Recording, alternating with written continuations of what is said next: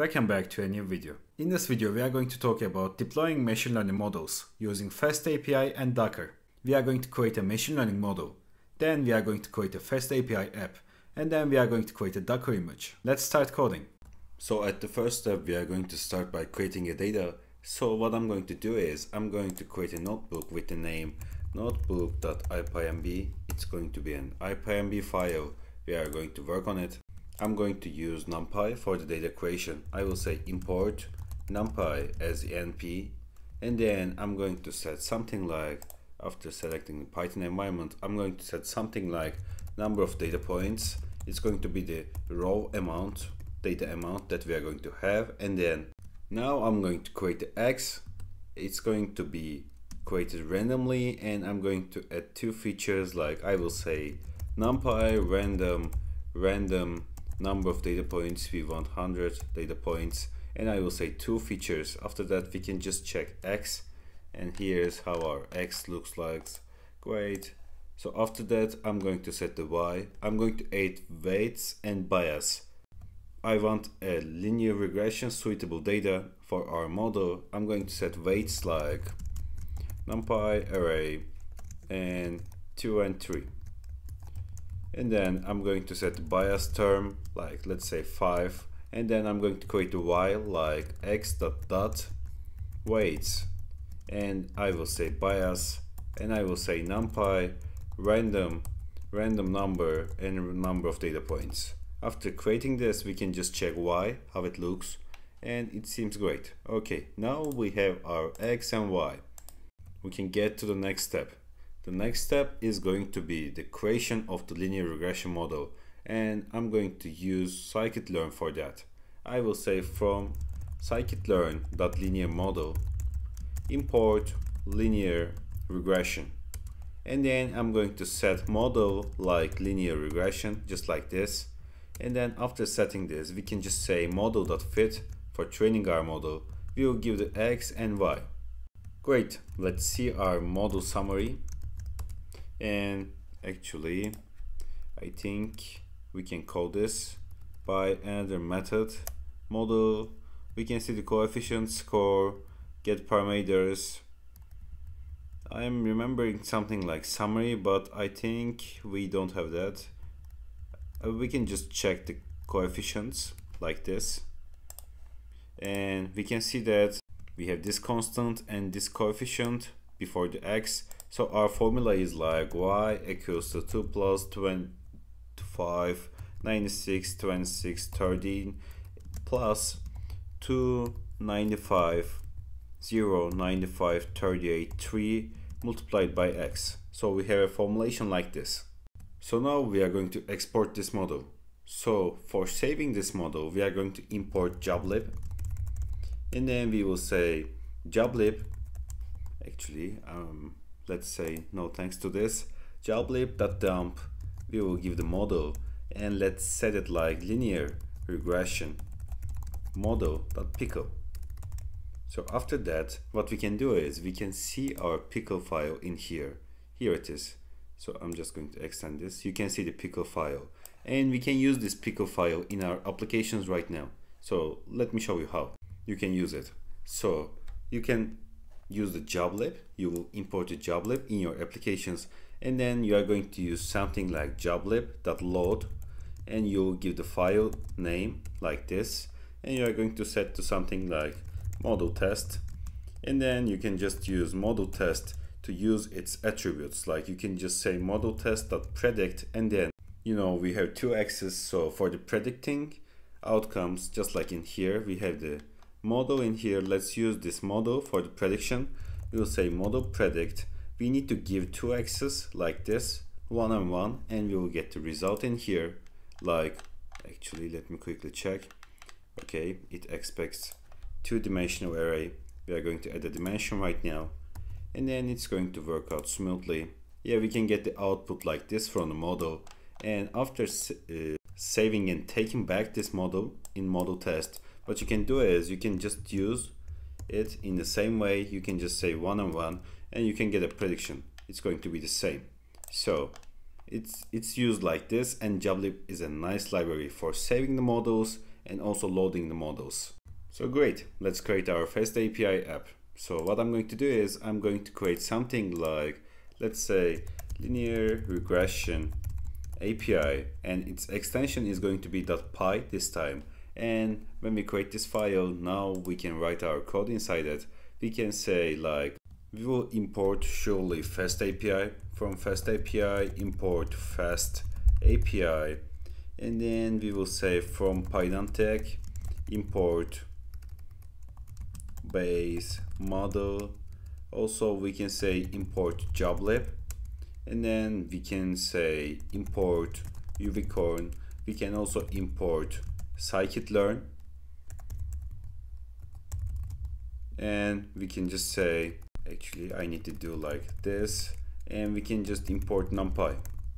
And then what I'm going to do is I'm going to define a class for input data using Pydantic. It's for data validation. And we are going to set a class like class. And it's going to be our input data in API, we are going to say base model, then our x1 is going to be float and x2 is going to be float 2 It's going to be our inputs in the model. And then I'm going to create the app, fast API. I'm going to initialize it like that. And the next step is going to be loading the model that we saved. It's going to be like model is going to be joblib.load, the method we used, and we will say linear regression model.pickle like this. And now we can just say app.post and we will say, let's say like predict endpoint. And then I'm going to say asynchronous define predict and we will say data is going to be input data. It's going to be the input for the function. And then we will extract the features like x1 is going to be data.x1 and x2 is going to be data.x2 then we are going to prepare the input data in a format that the model expects. So we will say like input data is going to be numpy.array and it's a two-dimensional array. We will say x1 and x2 like this. Actually let me quickly check numpy. We need to say as mp for the usage. Great. Then we are going to return like let's say prediction and it's going to be prediction we have. So let's create this prediction in here like we will say the loaded model prediction is going to be model.predict input data and we are going to take the first element of this like the value inside. Great. So after that we can just say something like if name equals to main. And then we can say uvicorn that run. Linear regression. API app. We can say host let's say 0 we are going to host this locally and then we are going to use docker 2 in this video.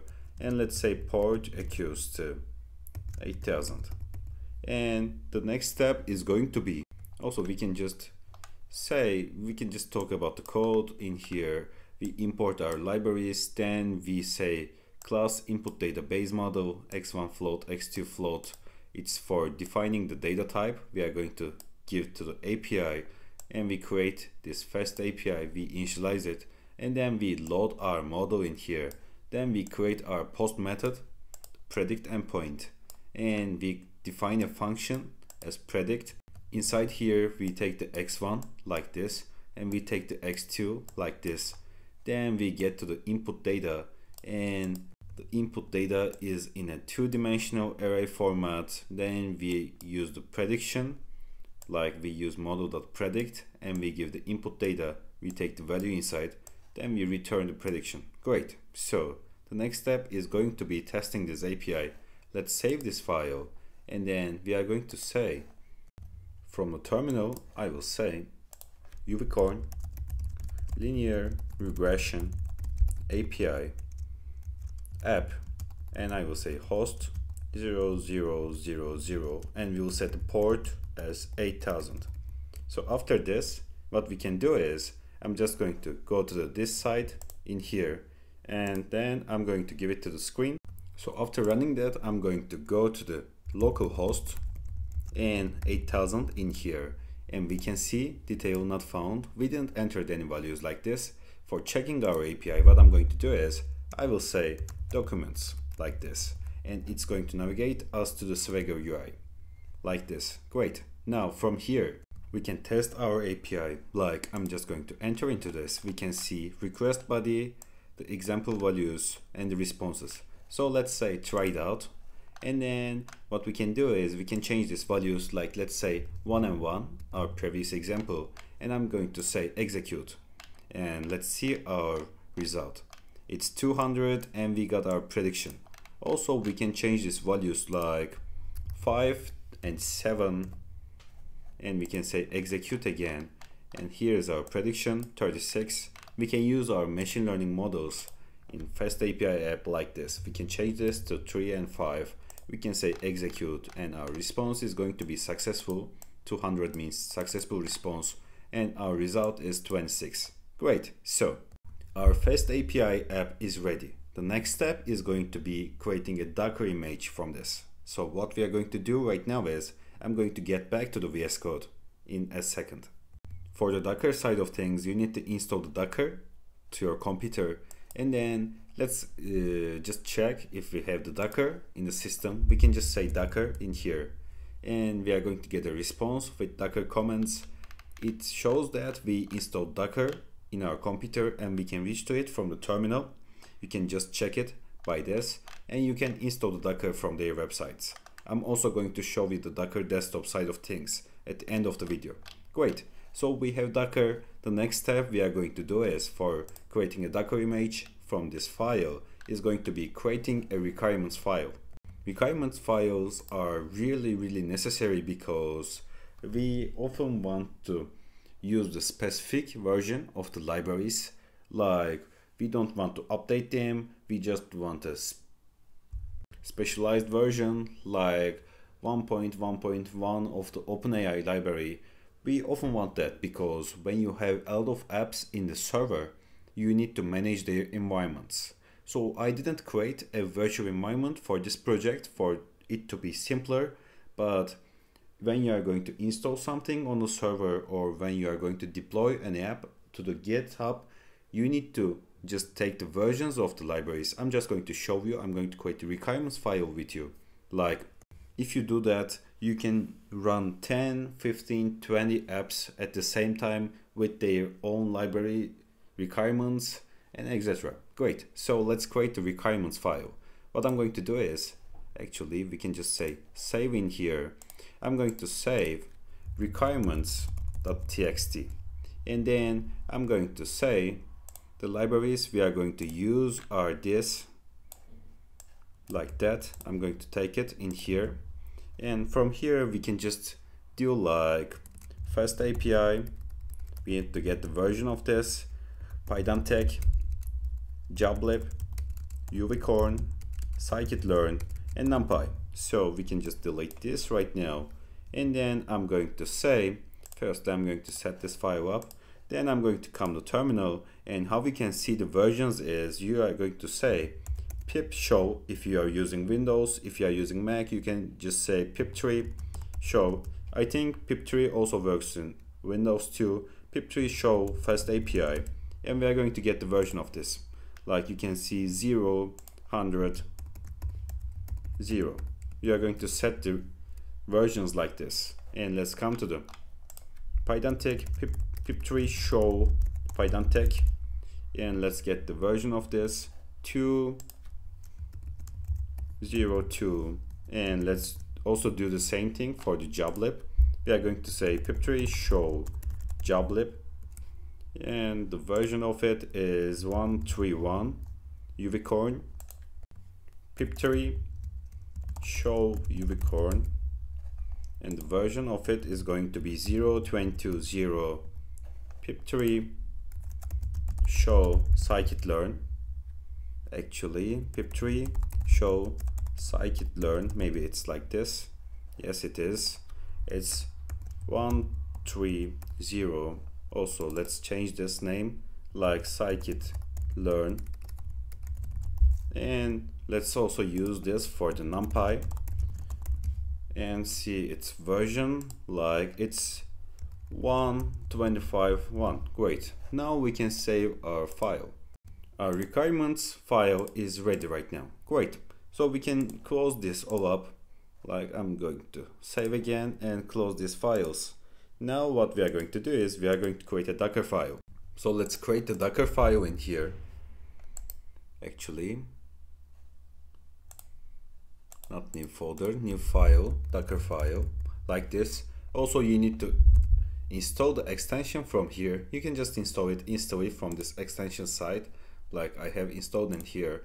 And then what we are going to do is we are going to say from python 3.9 and then what we are going to do is we will say work directory is going to be app like this. And then we will say copy requirements.txt and we also need to use the dot. Then we will say run pip install requirements.txt and then we are going to say command and uvicorn then we will say linear regression API app like this. Then we will say host. We will say 0 0 0 0 just like we did. We will say port like this.